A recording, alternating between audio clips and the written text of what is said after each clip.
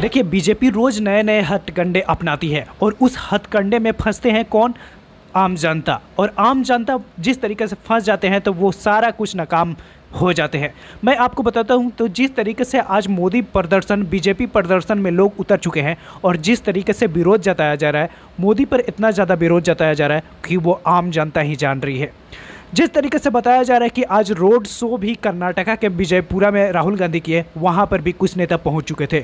और वहाँ पर भी उस विरोध प्रदर्शन को लेकर के ये जताया जा रहा था कि एक तरफ़ मोदी है तो एक तरफ़ राहुल गांधी है। मोदी के लोग राहुल गांधी को विरोध कर रहे हैं और राहुल गांधी के लोग मोदी को विरोध कर रहे हैं। यही चल रहा है आजकल देश में।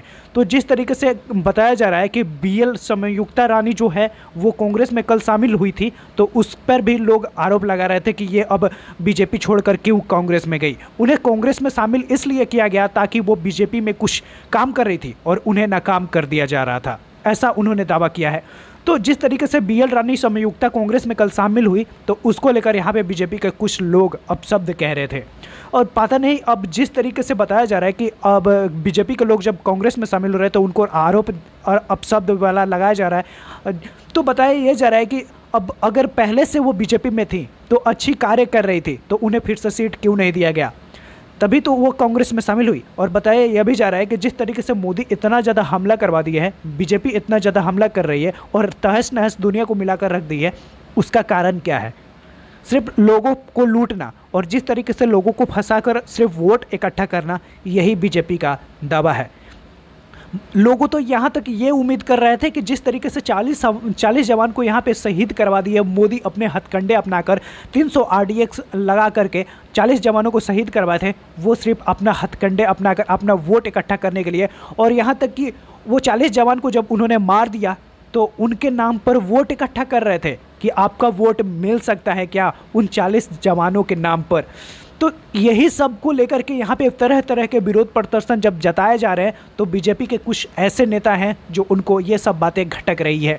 वो कह रहे हैं कि आखिर में ऐसा देश में कैसे किया जा सकता है। अब आप ही बताइए कि जब ये मामला इतना ज़्यादा बढ़ा तो उसको कम करना चाहिए था बीजेपी को। वो चीज़ नहीं करना चाहिए था जो आम जनता को तकलीफ़ पहुँची। लेकिन उनका काम बस यही रह जा रहा है कि आम जनता को परेशान करना और उनके वोट इकट्ठा कर लेना, उनको बहला फुसला कर और बाद में इतना ज़्यादा उनको तंग कर देना कि वो जीने के लिए भी ना बचे।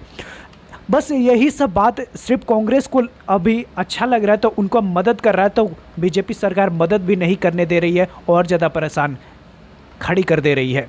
तो इसको लेकर देश में अफरा तफरी तो मचेगा ही। जिस तरीके से आज बीजेपी के नेता कांग्रेस में शामिल हो रहे हैं तो उसका भी विरोध बीजेपी कर रही है कि क्यों शामिल हो रहे हैं। और और जब तरह के से ये सब रोका जा रहा है, मामला बढ़ाया नहीं जा रहा है, उसको कम किया जा रहा है, उस पर भी लोग अफरा तफरी मचा रहे हैं बीजेपी के लोग। कहीं कहीं तो मार पीट जैसा माहौल उत्पन्न हो जा रहा है। तो ये सब बीजेपी के कुछ लोग कर रहे हैं।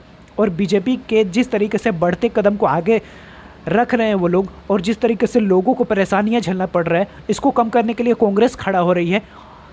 भ्रष्टाचार के मुद्दे पर आवाज़ उठा रही है। सिर्फ़ गलत हो रहा है, वहाँ पहुँच रही है। तो बीजेपी के ये सब बात उनको गलत लग रहा है, क्योंकि ये सब उनको बहुत गलत लग रहा है, क्योंकि लोग अच्छे का गाल पे नहीं चल रहे हैं, अच्छे से नहीं कार्य कर रहे हैं।